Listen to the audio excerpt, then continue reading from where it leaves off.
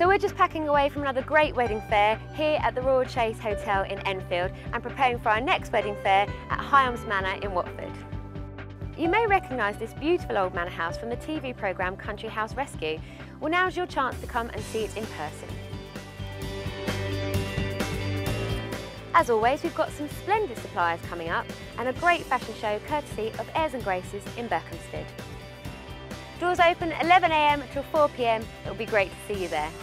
That's High Elms Manor, Watford, next Sunday, the 13th of October.